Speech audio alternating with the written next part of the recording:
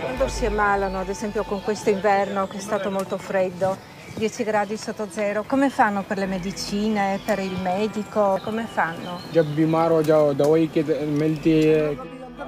Guardare negli occhi un rifugiato è un gesto politico, è un modo per ridargli valore, per rimetterlo al mondo, per dirgli no, tu ci sei, tu ci sei. E da qui si comincia. È arrivato di notte un ragazzo in preda a congelamento e, e non si capisce, sembra che possa, debbano tagliargli i piedi. Io la prima volta che ho visto i suoi piedi erano spessi così, perché c'era il piede e poi c'era tanto così di spessore dovuto alle bolle. Quando sono saliti sul treno per andare in Germania, che poi ce l'hanno fatta, sono tutti ancora in Germania, ho capito cos'è la libertà. In quel momento ho capito cos'è la libertà, la libertà di scegliere, la libertà di essere umani.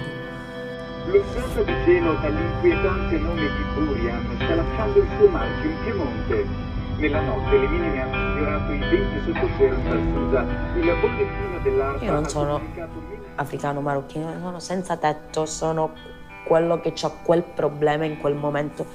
Non faccio parte di una categoria, di un... Ormai la dinamica che io sono italiana, loro sono africani, non frega più niente.